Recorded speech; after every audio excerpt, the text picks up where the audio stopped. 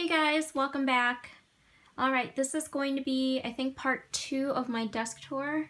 If you've watched my previous video, I gave you pretty much an overview of what exactly is on top of my desk, but I'm going to go through some of the contents of things that I kind of skipped over, like that box right there, and then the drawer of this desk.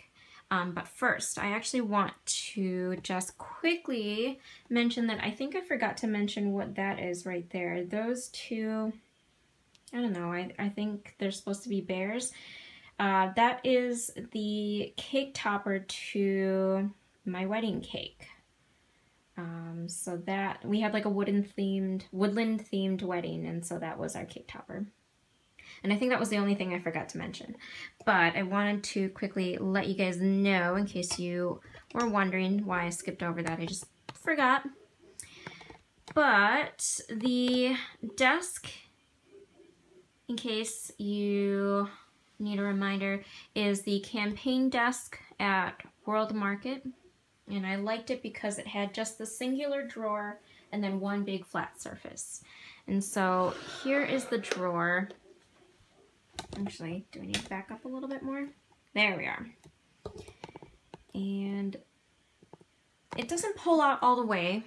So kind of, this is the furthest it's going to pull out. But if you see my hand, it's going to go back further like this. So almost another sideway hand, hand's length there. And this is kind of where I keep hmm, some of my nicer stationery items uh, thank you cards and such. Starting over here, I have a typewriter cleaner. I think I got this at the Seattle Art Museum. I've always wanted one of these, so I have that right here. I do have typewriters. Um, some French stationery that actually came in a kit. It was like a mustache stationery kit. I haven't had um any occasion to use this. I don't have too many pen pals left, so it's uh, kind of hard to use up the stationery. This set is a really nice cream colored set from Barnes & Noble. I believe they still carry it. It's just, it's very simple. I really like that it's simple. Very pretty cutout to the envelope. And then the paper is actually on the other side of this, but I just like that it's just very simple. Back here, I actually have a couple chopstick holders, which I actually use to rest um, dip pens on. So if you're looking for a creative way for you to rest your dip pens or your uh, fountain pens on a desk, uh, you can use chopstick holders. Those work out perfectly. And then all the way back here, I actually have the box to my Blackwing pencils. I got the soft graphite ones. So any unused ones kind of just sit back here. That's all stacked on the right side here. I do have a few dip pens. These are the ones that don't fit in my brass pen case. So these are the longer ones. This I actually got at, what's that art store called? Cass Art in Soho in England. Um, and then I have my glass dip pen. This one is from a set a long time ago, I think from like my middle school years that I got from Barnes & Noble. And then this is one that I got at Luca here in Seattle.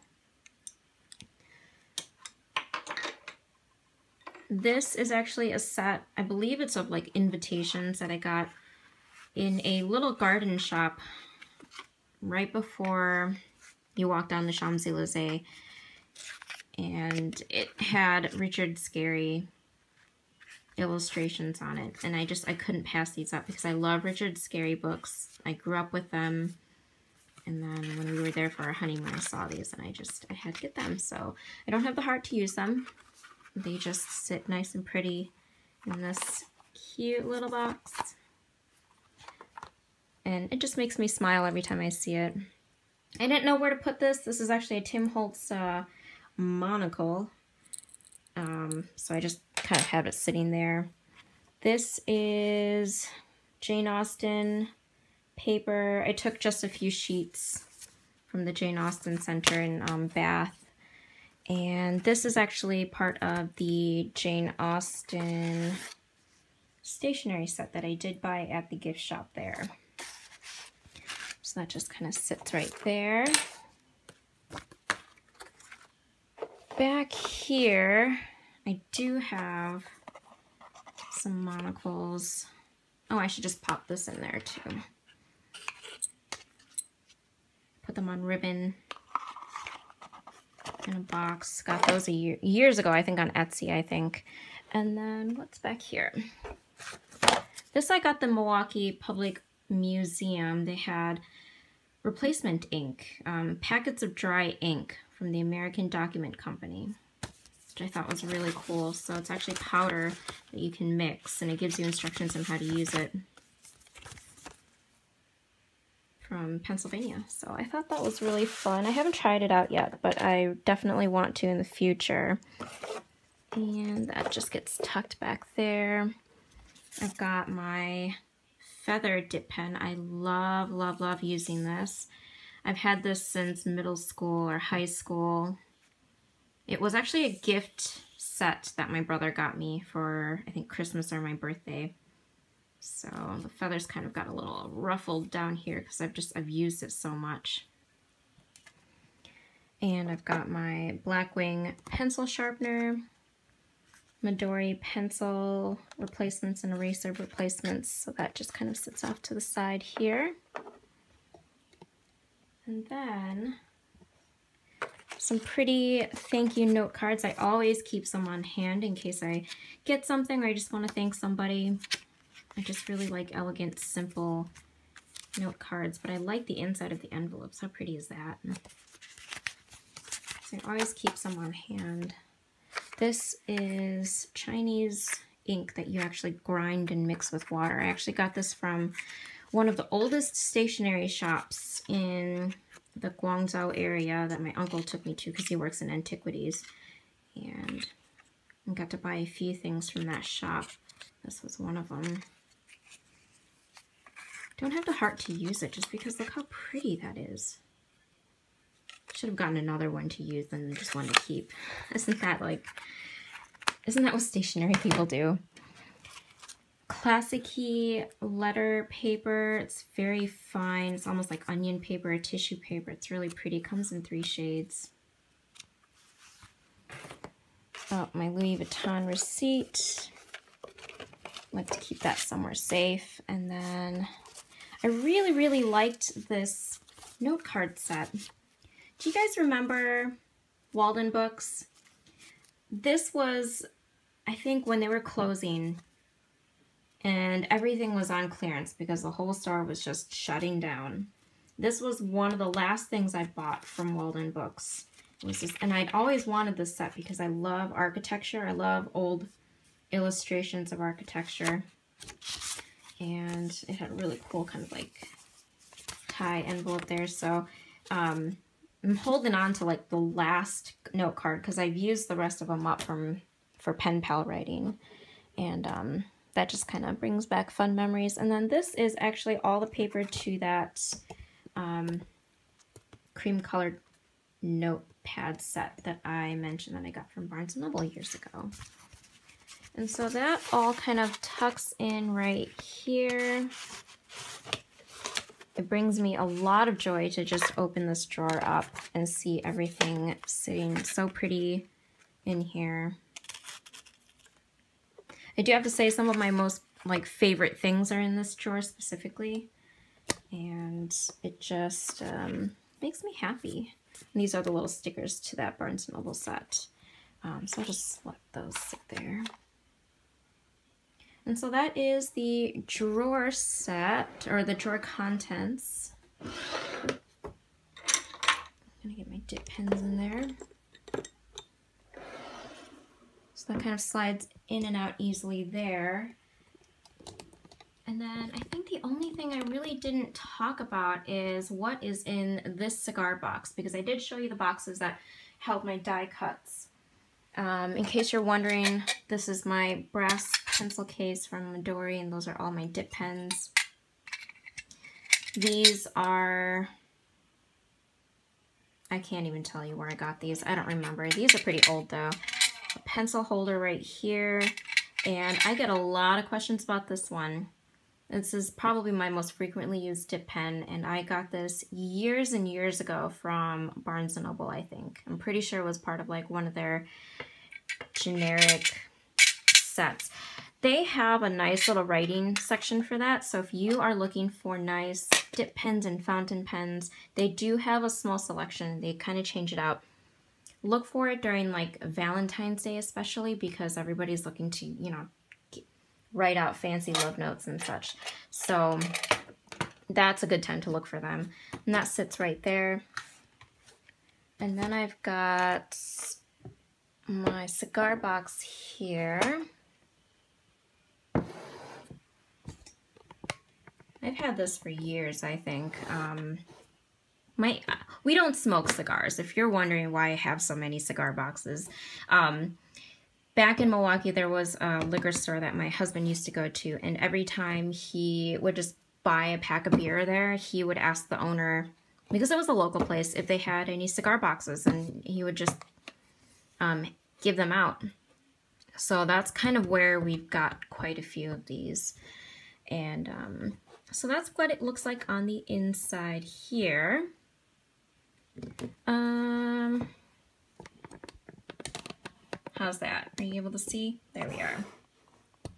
I really like this one just because it's tall. You can store quite a bit in this one. And it is full out like wood.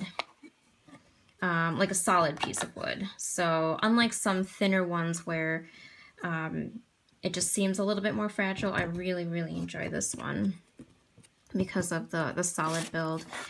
I've got some, I think these are Midori brand uh, envelopes magnifying glass, some little note cards that I got from, I think, Paper Source. I don't know what brand this is. Is this Classic here or something? I got it from Baumkuchen. They're just like little address labels you could pop onto packages and some note cards. I actually use these for journaling. I really like the artist who does all the um, animals that wear these fruit and fauna hats. Got this at Soap and in Milwaukee. It's one of my favorite shops there that sells like home goods and soaps and local things. And Cavallini & Co. rubber stamps. This is the set that I use to number all my journals. So I do like to keep that out and on hand.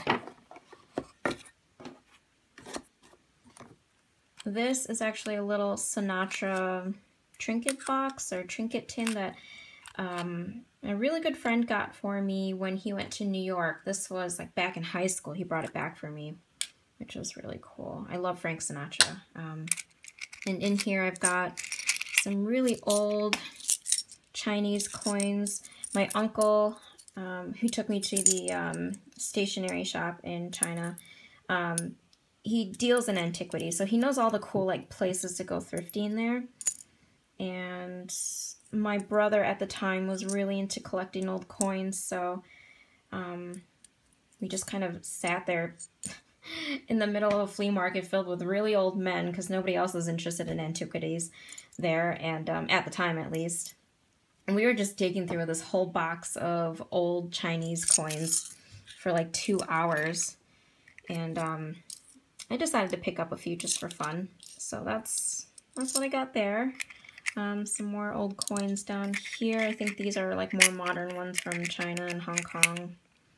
So, and then these are two rocks that the same friend who got me the tin went to England for the first time because I was, he knew that I was obsessed with England and um, he went during high school with his family and so he brought back a couple rocks from like Westminster Abbey, like in the grassy area. So I have that all in this little tin here. This is what people use to look at like coins and jewelry or something. I got it from the same flea market that um, those old coins came from. A little ribbon from Penhaligon's um, in London. don't remember what this is from. We bought something and then it just came with the ribbon and I decided to keep it. I think they had sprayed it with um, perfume or cologne or something and so it made the box smell really nice for a while. Uh, regular just flash drive and an old bottle. Just really liked it. I think this was from like Science and Surplus in Milwaukee. And a box of matches of different books out of print matchbook set. I really like that brand. If you're into literary things, you can check out their stuff. They turned it into like t-shirts and totes and it's really cool. So these are all the books that were, um, I think, banned for a while or something. So really cute. This was like, I think, a ad, like a Christmas advent gift that my husband got me last year. And so that's everything that kind of sits in this little box here. Not stuff that I access too often aside from the stamp set in there, but now just kind of sits right there on my desk. So I hope that uh, was enjoyable to watch. Let me know if you have any questions. I'm so excited to have shown you finally what is on my desk so that way I can actually start packing everything up. Stay tuned. I will be doing a bookshelf tour pretty soon where I store most of my journals. And I hope you guys enjoyed watching. Bye!